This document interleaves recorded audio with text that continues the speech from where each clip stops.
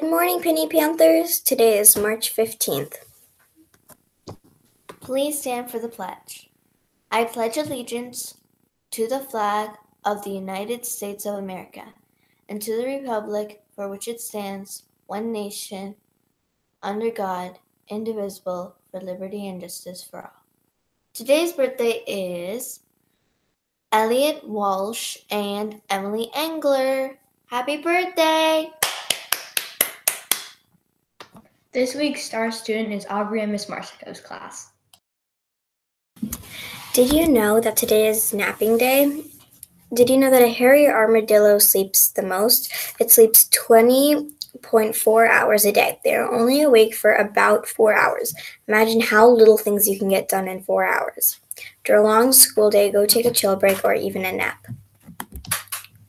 Make it a great day at Penny Cha.